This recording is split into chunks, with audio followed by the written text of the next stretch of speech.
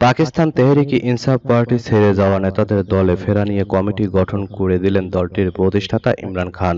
ইমরান খান কারাগার থেকে মুক্তি না পাওয়া পর্যন্ত দলীয় কার্যক্রমে অংশ নেবে না বলে দল ত্যাগ করেছিলেন ওই সব নেতারা।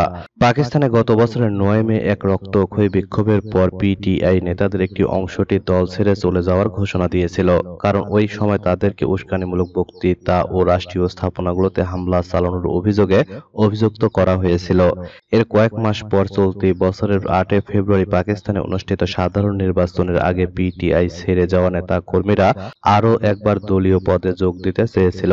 কিন্তু পিটিআই নেতৃত্ব তখন স্পষ্টভাবে তাদের দলে ফিরিয়ে নেওয়ার বিষয়টি অস্বীকার করেছিল।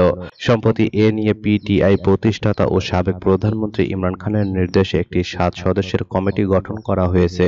যে কমিটির উপর নির্ভর করছে পিটিআই ছেড়ে যাওয়া ওইসব নেতার ভাগ্য।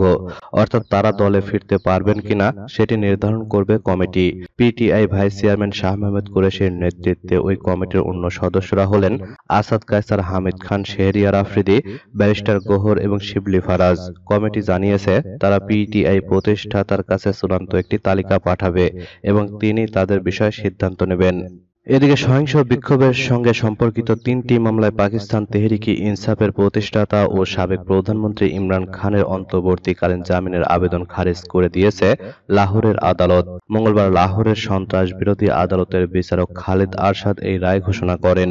এর আগে গত বছরের নয় মে দাঙ্গা সংক্রান্ত দুটি মামলায় গত পনেরো মে খালাস পেয়েছিলেন ইমরান খান। বিচার বিভাগীয় ম্যাজিস্ট্রেট সাহেব বিলাল তার খালাসের আদেশ জারি করেছিলেন। তিনি দাঙ্গার মামলাগুলোকে চ্যালেঞ্জ করে প্রাক্তন প্রধানমন্ত্রীর আবেদন মঞ্জুর করেছিলেন। ইমরানের বিরুদ্ধে ওই দুটি মামলায় ইসলামাবাদের খান্না থানায় দায়ের করা হয়েছিল। ইমরানের বিরুদ্ধে মামলায় পর্যাপ্ত প্রমাণ না থাকায় তার খালাসের আবেদন মঞ্জুর করেন আদালত। এছাড়া গত বিশে মে সহিংসতার দুটি মামলা থেকে খালাস পান ইমরান খান ও তার দল পিটিআই এর নেতারা।